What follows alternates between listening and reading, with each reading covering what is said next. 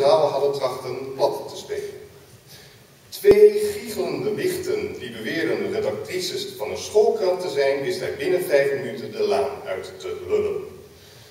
Hij vulde de uren met het legen van flessen en liep zo nu en dan zijn doorloopje door.